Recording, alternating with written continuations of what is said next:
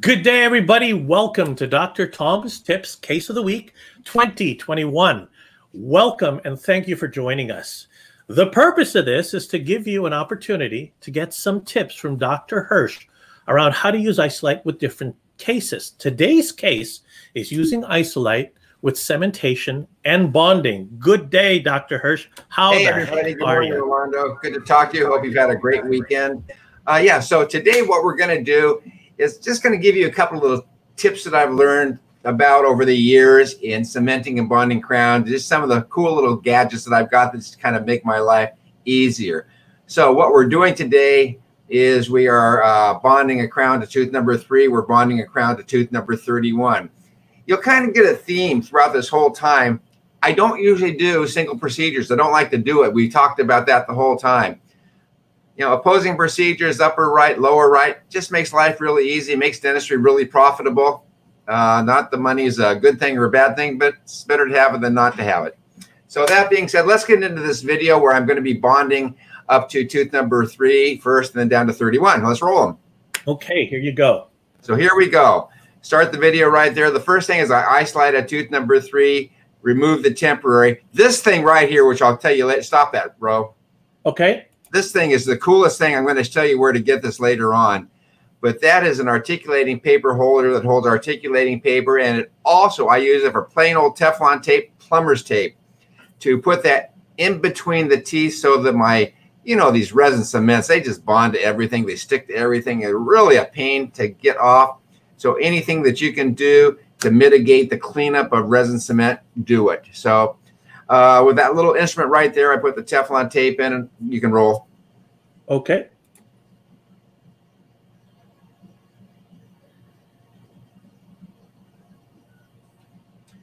Put that on the uh, mesial of the uh, number two, and then I'm going to put it on the distal of number four.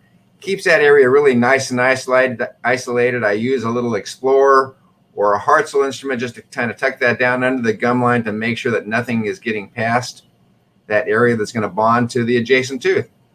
And here we use that, pulling it forward. Put my finger on it. You can see you don't have to use two hands to put on Teflon tape anymore. You know, using two hands inside the mouth can sometimes be really a challenge. So I've got this thing isolated right now. Um, we'd already done our our etching. Oh, so we'd already we'd already etched this thing already. We've already primed and bonded it.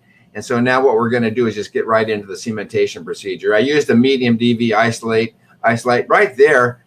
One of the cool factors is I can utilize the amber filter on the Isolite and really have great visibility without having to shut down lights so that we don't uh, prematurely uh, cure the cement. Some of you may be lucky enough to have operating operatory lights that go amber or your headlights that go amber. This is just another light that goes amber.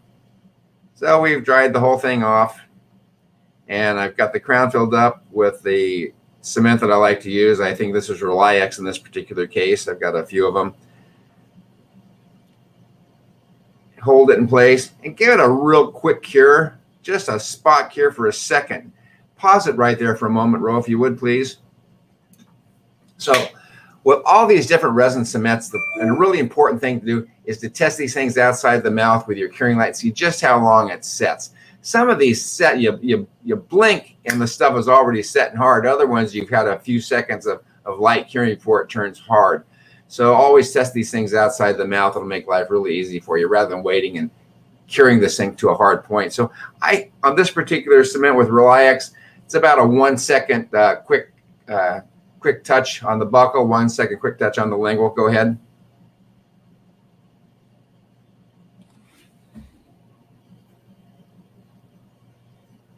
And I can see that the material just sits there. It's not falling down the throat. Not falling down. I actually went back in there. I think I hit that.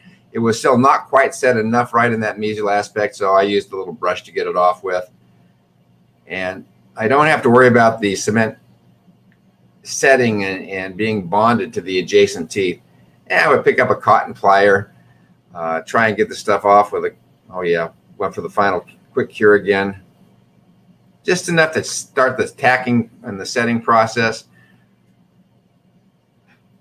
Sometimes getting the stuff out with a cotton plier can be a little challenging. Uh, I like a hemostat, it's better, but that just happened to be what we had in my hands. And you can see it, it's a pain sometimes to get that stuff out with cotton pliers. Pick up a hemostat, it comes off a lot nicer with the hemostat, or certainly it flosses out pretty easily. So after being frustrated with my cotton plier, I said, oh, the heck with give me a hemostat. Because the cotton plier just wasn't gripping it. You know, I had an older cotton plier and it just wasn't gripping it. So we're able to grab that with the hemostat and move it all out.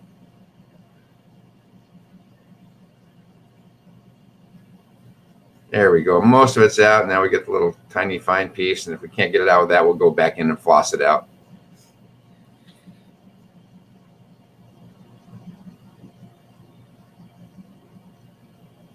Yeah, make sure your your assistants hold it in place. You can see a little tiny shred of, of Teflon tape coming out.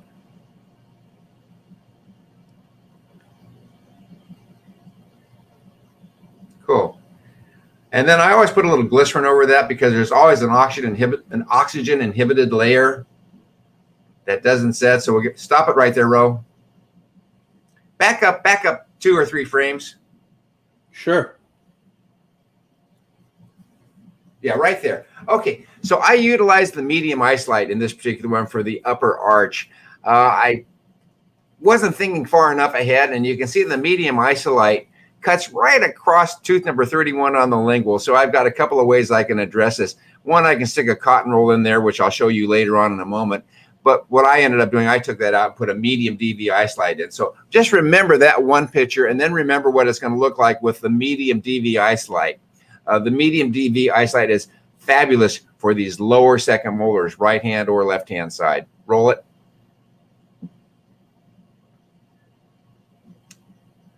Stop it. So there I've got the medium DV Isolite, and you can just see the difference in the isolation potential that we have right there. And, you know, the tongue's out of the way and everything is nice. So go ahead and roll from there.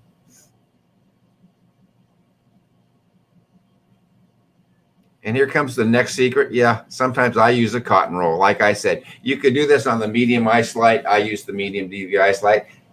Use everything that you can that's in your armamentarium. It just, just that's a little extra added safety right there, just in case they swallow and saliva comes up. So go ahead, roll them.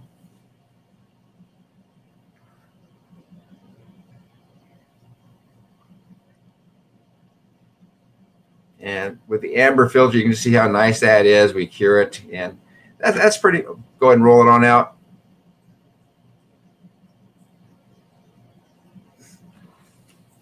Okay, super. So these these videos that you get from me, you know, these these are just the down and dirty videos. Are the day-to-day procedures. You know, I'm in the office and I'm working. I think there's going to be something that's going to fun. I'll have my my assistant pick up my iPhone. Danny's becoming great at taking video. She gives you the real bird's eye view. So this is just happening in the middle of day to day procedures. Nothing staged. Nothing. You know, no no uh, professional photography at all. So, so what's you know what's interesting, Dr. Hirsch? It's really nice to see you're the only one inside the mouth. Yeah. You have direct access to the entire procedure. I noticed the Teflon tape, the tip around that, and also the the fact that the mouthpiece was riding on the occlusal surface of number 31. You, you could see that, so you just replace it, which which worked really nicely. And uh, yeah, cotton rolls. So appreciate it's that. Real nice. Replace it. So grab grab a pencil and paper, and Ro's gonna maybe you can post this for them someplace else because this this is my cool little tool that we found I'm going to stand up so you get a, a, better view of this thing. So this, this is my cool little tool that we found right there. Turn it sideways. It's got a little plunger right there.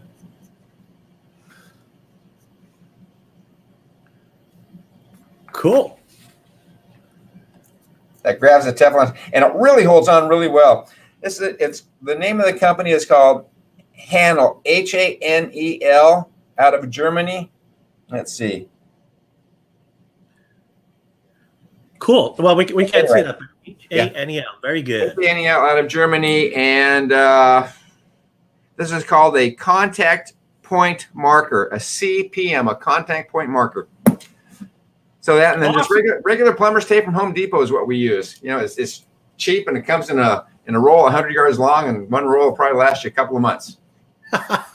well, thank you so much, Dr. Hirsch. Hey, folks, if you like the content, if you'd like to see other things, what Dr. Hirsch is going to be doing, as he mentioned, is, just during the course of the day, as he's working on different procedures, as he's looking at different things based on the feedback we've had, we're going to share them. So thank you so much. Again, we'll see you all on Tuesday next week for the next installment of Dr. Tom's Tips Case of the Week. Cow. Sounds like fun, everybody. Have a great day. It's good talking to you. Thanks for listening. And anything that I can help you guys with, let me know. Awesome. Thank you, sir. Have a great week. Take care, everyone. Appreciate it. If you like this, share it. Let us know. Take care. Thanks, gang. Bye bye.